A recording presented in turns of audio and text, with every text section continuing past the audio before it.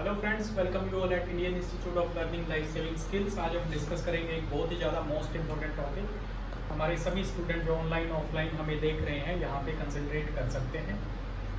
तो हम बात करेंगे आज रीनल फ़ंक्शन की। किसकी बात करेंगे?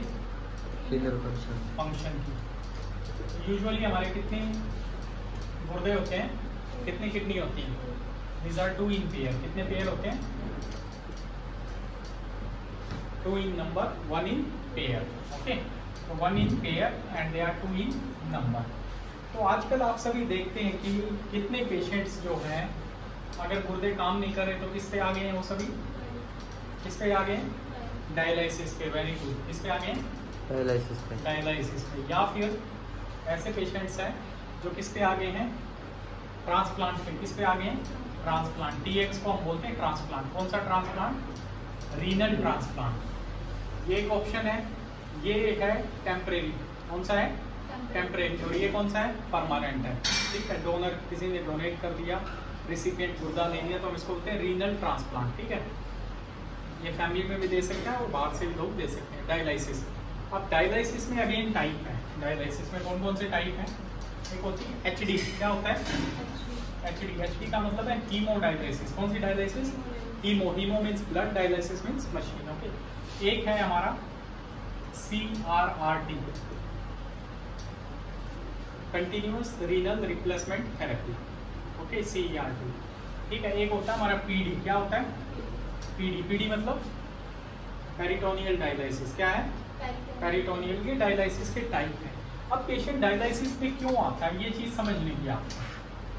अब क्या होता है हमारा नॉर्मल जो बॉडी का फ़ंक्शन होता है, उसको हम बोलते हैं रीनल का क्या होता है? जीएफआर क्या होता है? जीएफआर तो नॉर्मल जीएफआर कितना होता है? 120 ट्वेंटी पर मिनट कितना होता है? 120 ट्वेंटी पर मिनट कितना होता है? 120 ट्वेंटी पर मिनट ये हमारा क्या है? Normal GFR GFR GFR means glomerular filtration rate हमारी जो किडनी है, उसके अंदर क्या होती है? ये कैलिक्स हैं. ओके इनके अंदर हमारे क्या होते हैं? ग्लोमेरुलाइट क्या होते हैं? ग्लोमेरुलाई क्या होते हैं? ग्लोमेरुलाई होते हैं और इनके अंदर किडनी की जो फंक्शनल यूनिट है वो क्या है? नेफ्रॉन वो क्या है? Nephron it is the structural smallest structural and functional unit of kidney is nephron nephron level पे हमारे. इसीलिए जो गुर्दे के स्पेशलिस्ट होते हैं उनको क्या बोला जाता है? नेफ्रोलॉजिस्ट क्या बोला जाता है? नेफ्रोलॉजिस्ट वो इसलिए बोला जाता है नेफ्रोलॉजिस्ट ठीक है? कभी बोला जाता है किडनीलॉजिस्ट रीनलॉजिस्ट नहीं क्या बोला जाता है? नेफ्रोलॉजिस्ट वो इसलिए बोला जाता है क्योंकि हमारे स्ट्रक्चरल और फंक्शनल यूनिट पे वो काम करते हैं इसलिए क्या बोला जाता है? नेफ्रोलॉजिस्ट ओके जो डायलिसिस के डॉक्टर होते हैं उनको क्या बोला जाता है? नेफ्रोलॉजिस्ट ओके तो ये तो हमारा हो गया स्ट्रक्चर से। अब हम बात कर रहे हैं जीएफआर की। तो नॉर्मल जीएफआर कितना है? हमने बात की 120 twenty ml per minute okay अब क्या है? यूजुअली सीकेडी जो है सीकेडी का मतलब क्या होता है? क्रॉनिक किडनी डिज़ीज़ क्या है? क्रॉनिक किडनी डिज़ीज़ क्या है? क्रॉनिक किडनी डिज़ीज़ एक टर्म होती है जिसको हम बोलते हैं एकेआई क्या बोलते हैं? एक्यूट किडनी इंजरी क्या बोलते हैं? एक्यूट किडनी इंजरी सपोज़ करो किसी पेशेंट का तीन महीने से क्रेटिनिन बढ़ा हुआ है। उसको हम क्या बोलेंगे? सीकेडी क्या बोलेंगे? सीकेडी सीकेडी और कई पेशेंट ऐसे हैं जिनका क्रेटिनिन थोड़ी देर के लिए बढ़ा है। जैसे नॉर्मल क्रेटिनिन कितना होता है? Less than 1.5 mg per minute कितना होता है? Less than 1.5 mg per DL ठीक है?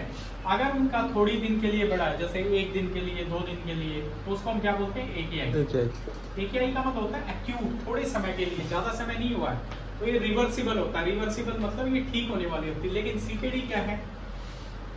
सीकेडी बिल्कुल से रिवर्स नहीं होती है। क्रॉनिक किडनी डिज़ीज़ ये किसमें कन्वर्ट हो गया? क्रॉनिक किडनी डिज़ीज़ में। किसमें कन्वर्ट हो गया? क्रॉनिक किडनी डिज़ीज़ में ये कन्वर्ट हो गया है। समझ गया? इसको हम बोलते हैं इसलिए, पहले एक वर्ड था ए क्या था? ARF R F A R F मतलब एक्यूट रीनल फेलियर लेकिन बाद में इन्होंने इसको चेंज कर दिया क्या बना दिया? ए के आई क्योंकि एक्यूट में कभी भी फेल नहीं होती किडनी एक्यूट में किडनी फेल नहीं होती। वो एक्यूट किडनी क्या है? इंजरी है। फेल नहीं हुई है वो। फेल का मतलब होता है टोटल से वो डैमेज हो जाना। इसलिए यहाँ पे क्या लिखा जाता है? सीकेडी या सीआरएफ क्या लिखा जाता है? CKD क्रोनिक किडनी डिज़ीज़ या क्रोनिक रीनल फेलियर ओके समझ गए? तो अब हम टॉपिक पे जिस पे बात कर रहे हैं हम बात करेंगे जीएफआर पे। किस पे? जीएफआर पे। तो नॉर्मल जीएफआर कितना है?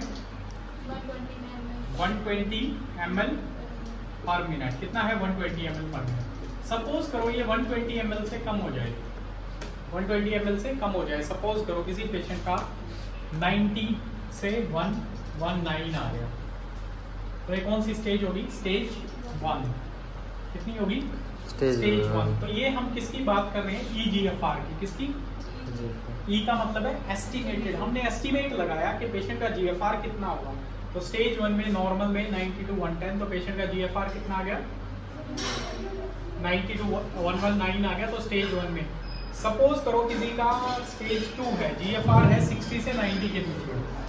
तो ये क्या होगी? स्टेज टू अब ये समझो stage three moderate decrease in functions जिनका आ गया 30 टू 59 के बीच में। किसमें आ गया? 30 टू 59 के बीच में। अब इन्होंने डिवाइड कर रखा है थ्री ए और थ्री थ्री ए है 45 टू 59 थ्री बी है 30 टू 44 अब सीवियर जीएफआर बहुत ज़्यादा कमी आ गई है जीएफआर में। वो आ गया हमारा 15 टू 29 और किडनी फेलियर को हमने बोल दिया लेस देन 15. 15 इसको बोलते हैं E S R D E S R D मतलब एंड स्टेज रीनल डिज़ीज़ जहाँ पे पेशेंट डायलिसिस पे आ जाते हैं। किस पे आ जाते हैं? डायलिसिस पे पेशेंट्स आ जाते हैं क्योंकि कंप्लीट किडनी जो है वो डैमेज हो गई है। जीएफआर 15 से भी नीचे चला गया है ओके 15 से भी नीचे चला गया है। एक बार हम फिर से इसको रिवाइज करेंगे। ठीक है? अब हमें किसी पेशेंट का कैलकुलेट करना है। क्या करना है? How to calculate EGFR how to calculate EGFR okay तो सबसे पहले आपको क्या चाहिए? एज क्या चाहिए? Age. Body weight. उसके बाद? Body weight. वेरी गुड उसके बाद? वेरी गुड एक्सीलेंट क्या चाहिए? Serum creatinine. और उसके बाद आपको क्या चाहिए? एज बॉडी वेट और सीरम क्रेटिन अब हमारे पास एक फॉर्मूला है जिसको हम बोलते हैं कोप क्रॉफ्ट गोल्ड क्या बोलते हैं? कोप क्रॉफ्ट और गोल्ड एक हम फॉर्मूला है जिसको हम बोलते हैं Cockcroft Gault Cockcroft Gault एक फॉर्मूला है जिससे हमें ये पता लगाते हैं okay Cockcroft Gault formula क्या है? बताएगा कोई student very good excellent 140 minus very good very good excellent weight in kg. Very good 72 minus Into. Serum creatinine okay ये मेल्स के लिए है। किसके लिए है? मेल्स के लिए। किसके हैं? अगर फीमेल में होता है तो फीमेल में हमें क्या करना पड़ता है? जो भी टोटल प्रोडक्ट आएगा उसको डिवाइड करेंगे 0.85 से। कितने से? मल्टीप्लाई करेंगे 0.85 से। ये वाला 72 this is right okay 72 two into serum creatinine तो टोटल को हम डिवाइड मल्टीप्लाई करेंगे 0.8 सॉरी 0.85 से। क्लियर तो अब हम एक पेशेंट का कैलकुलेट करेंगे। सपोज़ करो हमारे पास एक पेशेंट है जिसकी एज है 40 इयर्स कितनी एज है? ये 40 ईयर 40 ईयर मेल ओके ऐसे लिखते हैं। जिसका क्रेटनिन है 3.8 कितना है? 3.8 है। कितना है? तो आप कैलकुलेट करें 140 माइनस एज कितनी है? ओके इनटू बॉडी वेट कितना है उसका? बॉडी वेट सपोज़ करिए 70 K G okay into okay divided by into creatinine कितना है? 3.8 मल्टीप्लाई करें। 140 माइनस 40 कितना हो गया? 100 और 70 कितना हो गया? 7000 हो गया? अब यहाँ पे 72 का एक ज़ीरो ऊपर लगा देंगे। ये कितना हो गया? 72 टू इंटू थर्टी एट कितना हो गया? 273.6. Two three 273. Two seven 3. Three Point six. नहीं पॉइंट तो हटा ही दिया ना हमने। सिक्स आ गया। अब सेवन थाउज़ेंड को इससे डिवाइड करो कितना आ गया?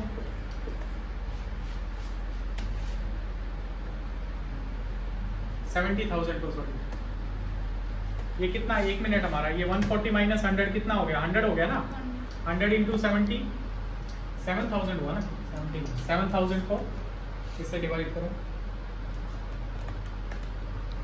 Two point five. कितना आ सिक्स। गया? Two point five six. 2.56 hmm. नहीं 2.56 कैसे आएगा? 7000 को 2736 से करो।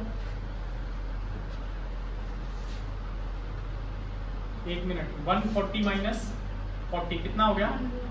100 हो गया? 100 into seventy hundred into seventy तो इसका भी तो ज़ीरो लगा था ऊपर ये सही था सेवेंटी थाउज़ेंड ही था।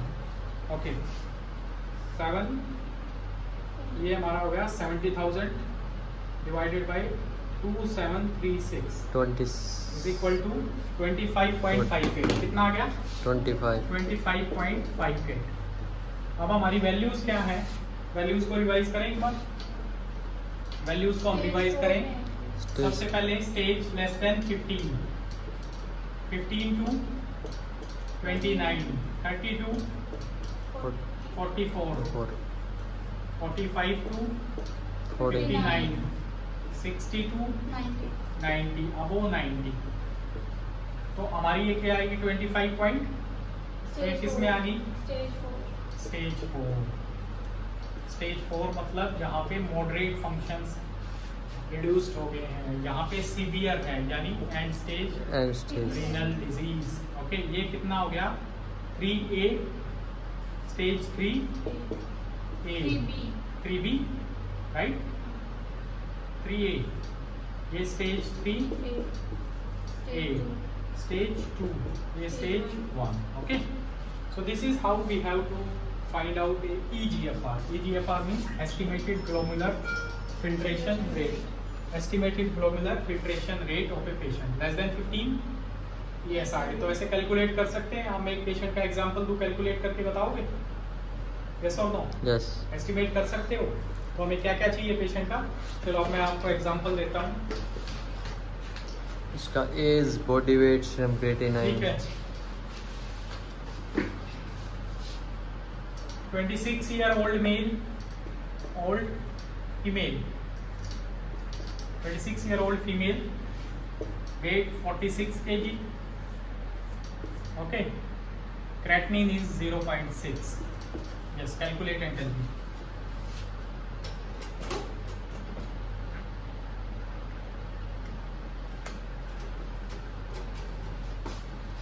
One forty minus age into body weight